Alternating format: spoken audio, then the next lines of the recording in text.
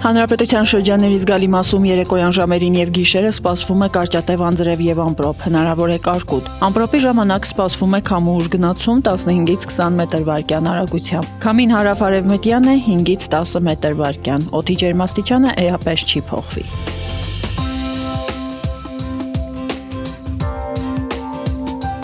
Շիրակում գիշերը գտիտվի 6, ցերեկը 20 աստիճան տաքություն, Երևանում գիշերը 14, ցերեկը 28 աստիճան տաքություն։